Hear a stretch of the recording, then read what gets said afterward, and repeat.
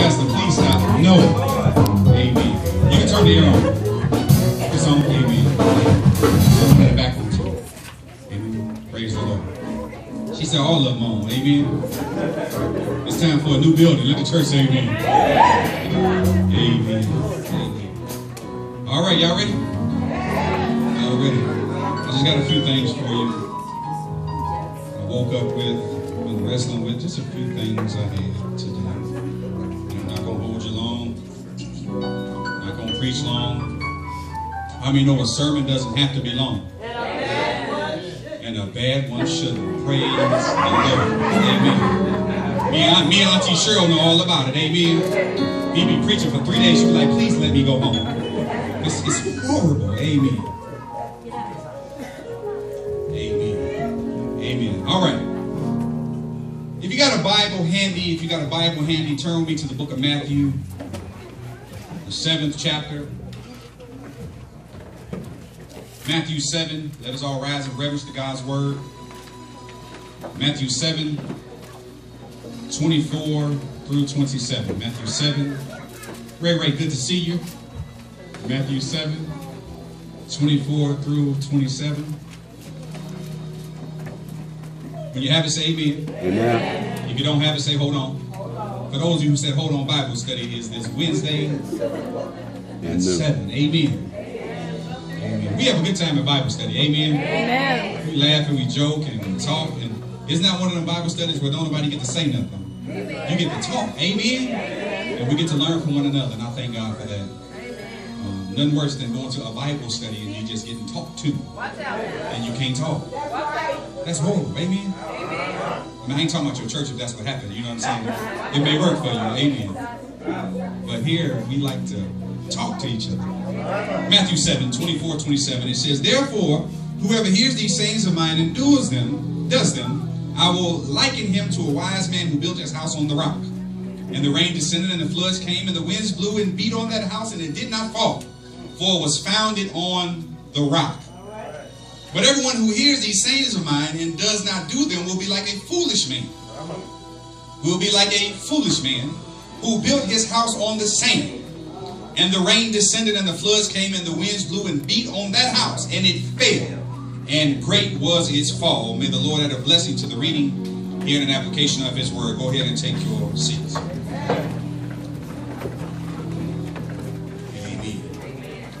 All right, today I want to talk about the wise and the foolish builder.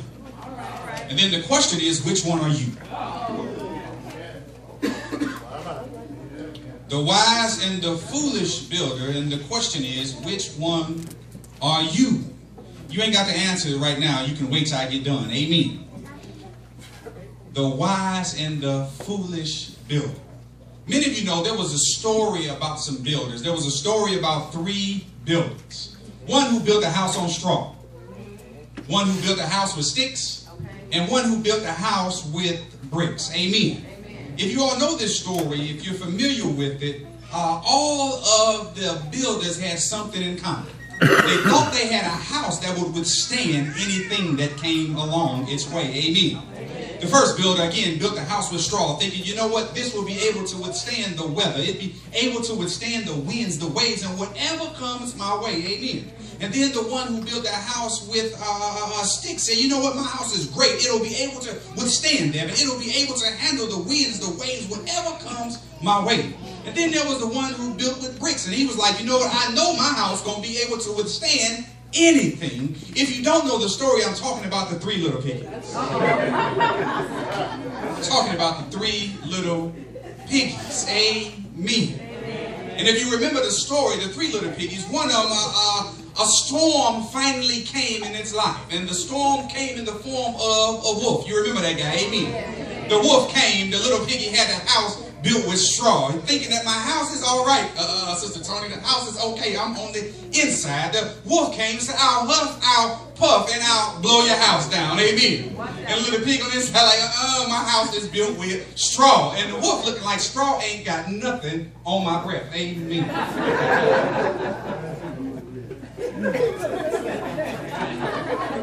Amen. So the wolf came and uh, the little pig was inside the house and the house was built again with straw. And so he huffed and he puffed and what happened? He blew the house down. And then the little pig got ate up.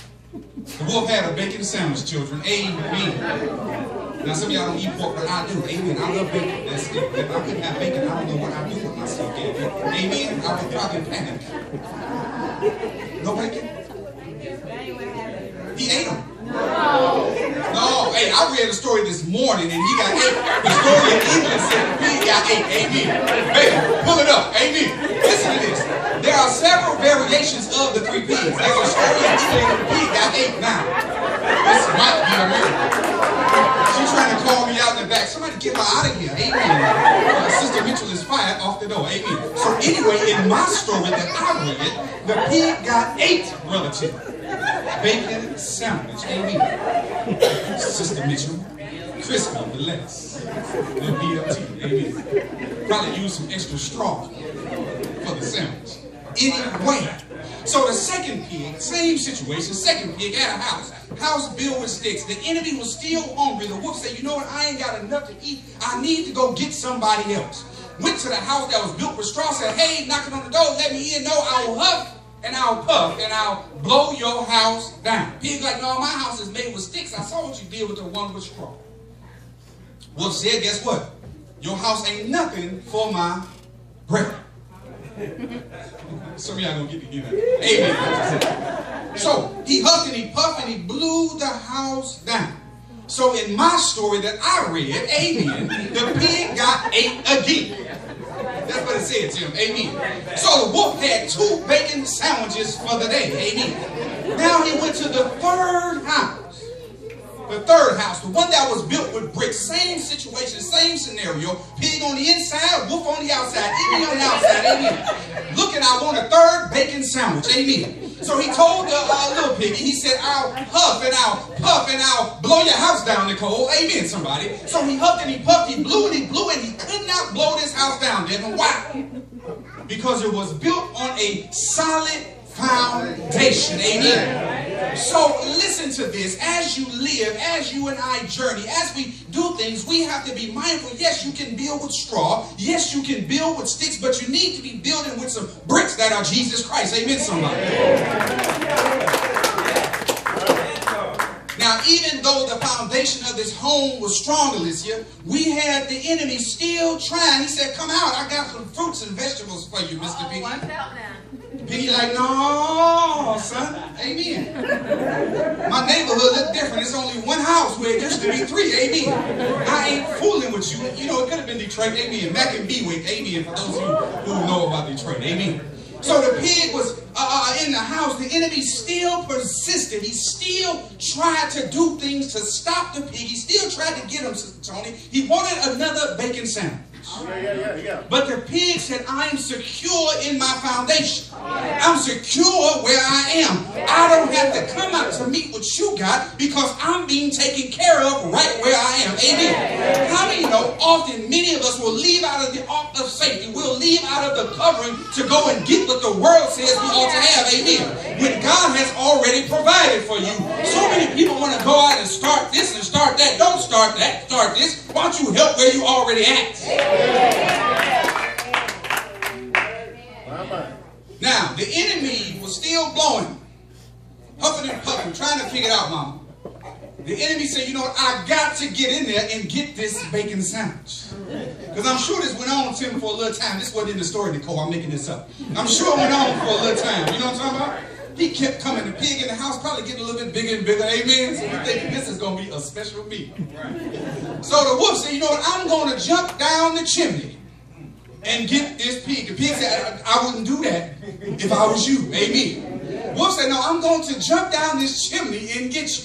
So the pig, he's smart. He said, you know, I got a solid foundation. I got something that'll tear this wolf up. So he put a little pot under the uh, uh, uh, little fireplace, lit it up, put a little oil in there, you know what I'm talking about?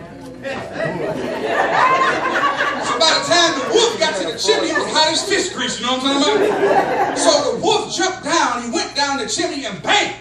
He met his own destruction while he was trying to mess with the pig who had a solid foundation. Amen. Some of you gonna get it in a second. The first thing we understand that we need to know when we look at our foundations, and whether you are a wise or a foolish builder, is the first thing is you have to build based in facts and not your feelings.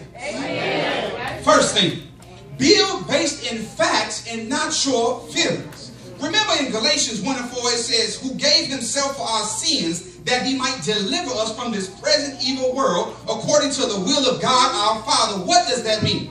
The Apostle Paul was telling you and I that Christ came to deliver us, and that's a fact. Amen. He came to deliver you out of your depression. Amen, somebody. He came to deliver you out of your hurt. He came to deliver you out of low self-esteem. Somebody should be excited about that. Amen. Christ came to deliver you. You are to build based on facts, not just your feelings. Amen. I know sometimes we go to churches and you feel good. They didn't say all kind of stuff. Sister Myra, you excited, you musty, you've been running around the church, and then on Tuesday you can't think of nothing the pastor said. But you feel good Sunday. How was church? It was good. They tore it up. What the pastor preached about, I don't know, The church was good. And on Tuesday, you ain't got no foundation, nothing to grab a hold to when they call and say, we finna turn off your lights and pick up your car. Somebody got them calls before, amen. I ain't never got the lights one. I got the car one though. I told him I ain't want it no way. Come get it. Amen. I'm tired of paying for it. No. Some of y'all got them cars right now. You want to call the people, please come get it. Amen. Because you paying a note and that thing is halfway running. You know what I'm talking about? Amen. So listen, you and I, as we build our foundation, Raven, they have to be based on facts and not feelings. Feelings will get us in a whole lot of trouble. Amen. Think about it. You ever got mad at somebody for no reason? Then you end up in trouble because you mad at them and they ain't did nothing to you. Amen. Too often in the body, we base things off of feelings. Like today, I don't feel like speaking. Okay, that's fine. Keep living. It'll be all right. Amen. But today, I don't feel like going to church. That's all right. Keep living. Keep moving. Keep going forward in what Christ told you. Stop basing your life off of feelings. Because listen to this. The enemy will come and make you feel all types of ways. Amen. Sometimes the enemy will make you feel good. Sometimes the enemy will make you feel bad. But you have to be firm and confident in your foundation. The second thing, your building, your foundation is based on sacrifice and not self. Somebody say sacrifice, and not self. Too often we build things built off of self. Amen. If pastor ain't at church, anybody showing up. Watch out. You're building your belief off of a self, off of a person. Amen, somebody. How many know that the word can go forward even when I ain't in the building? Amen. Sometimes I want to sit down. Oh, Lord, Sister Gloria, and walk in. Praise the Lord. Amen. Praise the Lord. Amen. Y'all don't know her. I do. Amen. But I introduced her before it's over. She came in late. I'm sure she got a God reason. Amen. We love her. So again, we have to base off of sacrifice and not self. Amen. Philippians, the second chapter, the third and fourth verse, it says, Let nothing be done through selfish ambition or conceit, but in lowliness of mind, let each esteem others better than himself. Let each of you look not only on for your own interest, but also for the interest of others. Amen. Listen to this. When you and I are in the body, we have to say, you know, what can I do to make it better for somebody else? What can I do to make it easier for my pastor? What can I do to make it easier for the ushers? Amen. What can I do to make it better for the cleanup crew? Pick up behind yourself before you leave. That was a commercial. Amen. What can I do?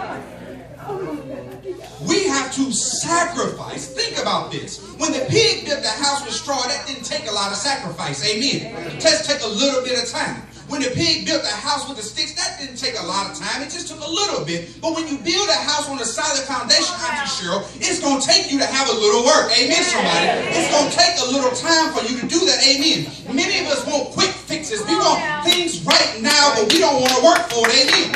We want quick fixes. We want to feel good right now, but we don't want to do what it takes to feel good all the time. Amen. And that is joy that you can have through Christ's word.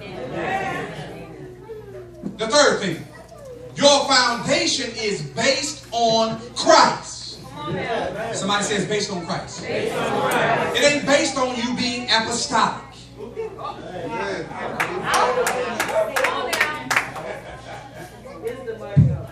It ain't based on you being apostolic. It ain't based on you being Pentecostal. It ain't based on you being Baptist. Amen, somebody. It ain't based on you being Church of God in Christ. It ain't based on you being full fellowship or full, whatever they got going on now. It ain't based on none of that. Amen, somebody. But your foundation is based on Jesus Christ. Amen. How do I know? Because churches will come, churches will go. Amen, somebody. Doors will open and doors will close. But Christ remains the same. Amen. You and I need to get into Christ. Amen. Get out of self. We need out of people. Amen, somebody. If you get into Christ, you won't be swayed all the time. If you get into Christ, you won't be discouraged all the time. If you get into Christ, you won't be defeated all the time. Somebody needs to get in a firm foundation. Somebody needs to get into Christ. You need to stop building with straw. Stop building with sticks and build with Jesus. Amen.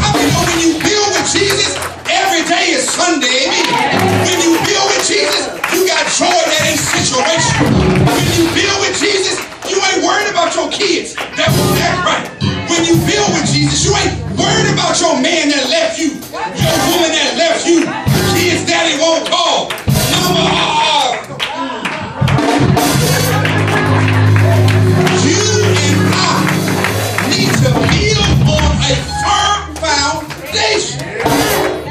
Uh, we've been used to uh, uh, uh, uh, building on things not solid. But we got to build on stuff that's solid. Not our feelings, not our emotions, not people and not things. Amen, somebody. But we've got to build on Christ. Amen. Christ is the one who never quits. Somebody say, oh, he never quits. You've got to build on Christ, the one who never quits. I know for a fact he don't quit because your mama might have quit you. Your daddy might have quit you. Your ex might have quit you. But Christ didn't quit you. How do I know? Because he went to Calvary. He walked up the streets of Jerusalem.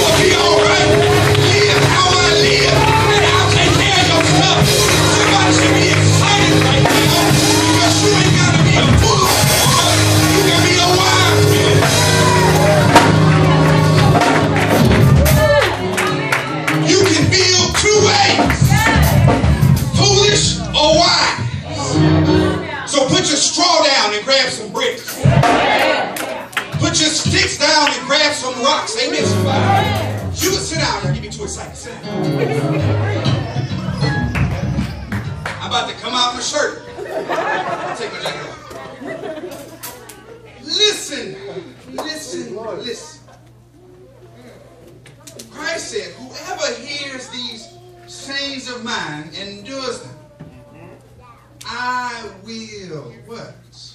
Liken him unto a wise man who built his house upon a rock. Yeah. If you are looking at your life and it look like stuff continues to crumble, you got to question yourself. Yeah. What am I building on? Are you building on your bank account? Are you building on, uh, is he going to call today?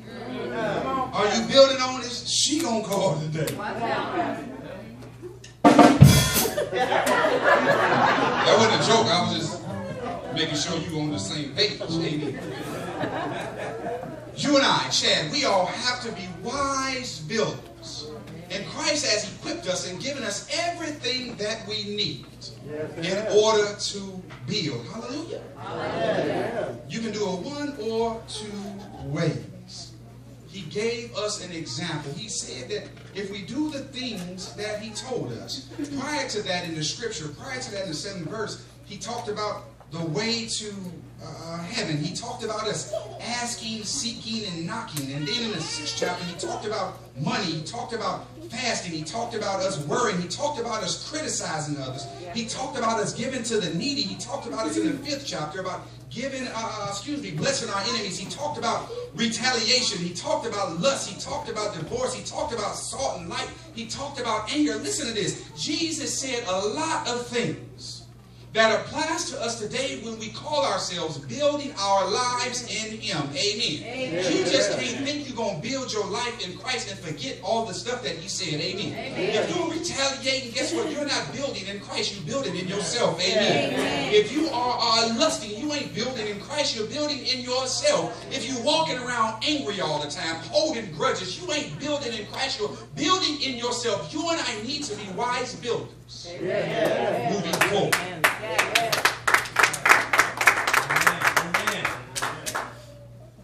Thank you for the titty y'all clap. the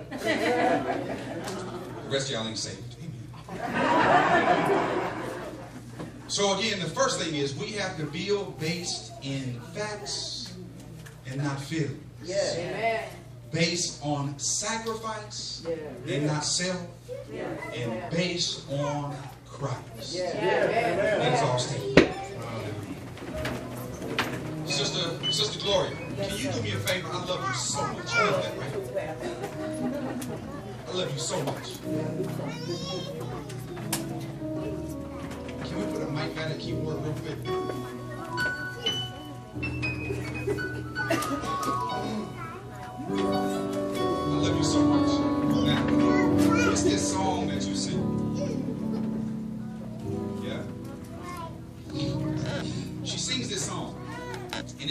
That she walked in. Yes, yes, amen. She has a tremendous, she played for us before she moved back to Detroit, but she has a tremendous testimony. And uh, she'll come back to share that with us. Will you be here Mother's Day? No? You need Tuesday? We're going to buy you a ticket one of these Mother's Days. It's a song she sings, I Still Have Joy. After all the things I've been through, I still have joy. And I just wanted to sing that for us as you uh, prepare yourselves to give.